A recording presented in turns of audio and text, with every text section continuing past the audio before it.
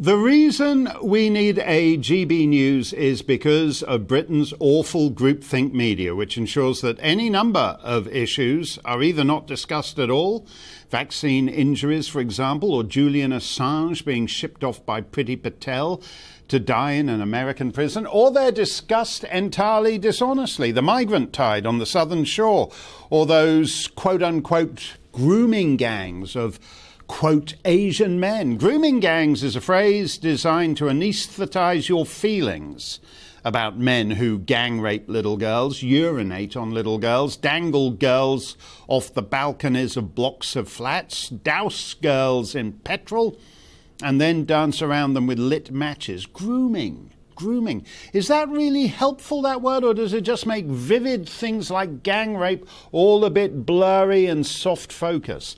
And as for quote, Asian men, let's swap the casting and imagine what would happen if Pakistani Muslim girls in Rotherham, Rochdale, Oldham, Oxford were being gang raped by white working class Englishmen. Do you think the media would be discreetly referring to them as European men? If you can't talk about a problem honestly, you're unlikely to fix it, which is why young girls go on being raped by Asian men in towns up and down the land. Sammy Woodhouse was on this show last night, as she has been many times. Sammy's tormentor, Arshad Hussain, the man who ruined her life, was offered a deal by South Yorkshire Police. Hey, just return that 14 year old girl you've knocked up and we won't arrest you. And yet, the political class and the media and big tech all seem to agree that we need to shrivel the bounds of public discourse even further. Even when these people are part of the story, there's apparently no story. Angela Rayner is one of the MPs for Oldham. When she crosses her legs in front of Boris Johnson, it's hold the front page for weeks on end.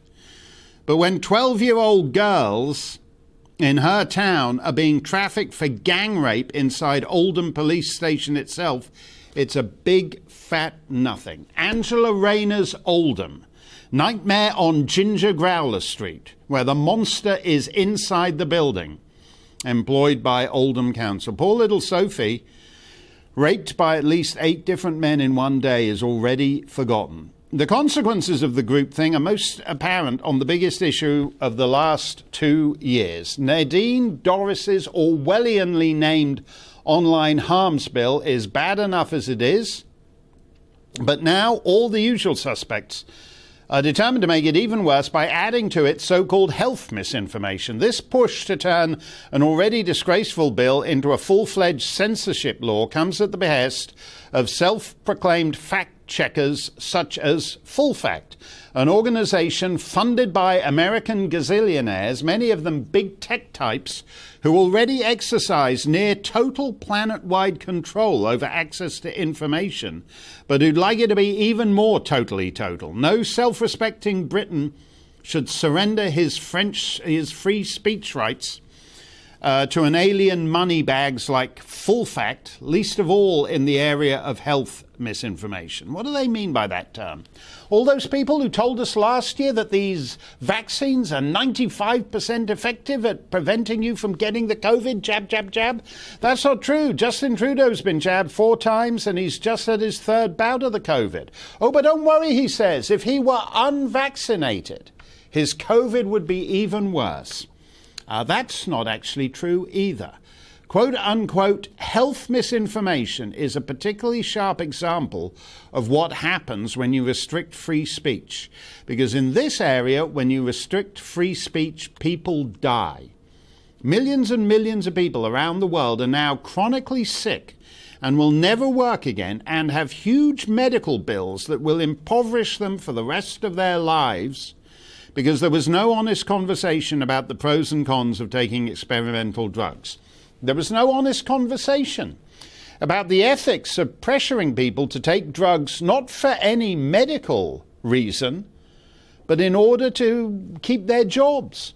And indeed, if you advanced any view on these so called vaccines, contrary to the groupthink, the likes of Full Fact and their chums at Facebook, Google, Twitter, would label you instantly as misinformation, and as a result, thousands upon thousands of people have died. This week, something remarkable happened. Vikki Spit, a regular on this show who lost the love of her life to the vaccine, was informed by the government that she would be the first person in the UK to be compensated because the vaccine had killed her loved one. Next up was Joe Ward, another guest on this show and another victim of the vaccine, who lost his dad to the AstraZeneca and is now the second person who'll receive compensation from the government. Joe spoke to me a week ago along with another vaccine victim who also lost her father, Kelly Hatfield. How, how can our cases be weak when you have a death certificate and we had 10 months of coroner's court and we've I've read my dad's post mortem. I've seen everything to do with my dad. How, how is that a weak case? What court can we go to when AstraZeneca have got legal indemnity to being prosecuted? Um, obviously, we're all going through the um, vaccine damage payment scheme. Um, obviously, my application's been in for over a year now, so no help is forthcoming there. Well, it took a while, but the help has belatedly come forth. Kelly contacted us today uh, to say that her mum is being offered the same compensation by HMG as Vikki and Joe for the loss of her father to the AstraZeneca vaccine. It's a miserable 120,000 quid, but even so, this week alone, the government has offered to pay over a third of a million pounds, just the three guests of the Mark Steyn show, belonging to a category that hack twerps such as SMSP John Mason and the uh, speech controllers of the internet deny even exists. Victims of the vaccines over half a million of them in the UK alone. So we have crossed a threshold. Her Majesty's government, which from Her Majesty down told us to get the shot and it was perfectly safe, has now acknowledged for the first time that in fact these vaccines kill people. And yet, even as the government recognizes what it has done, the sick totalitarian freaks of social media continue to suppress all dissent.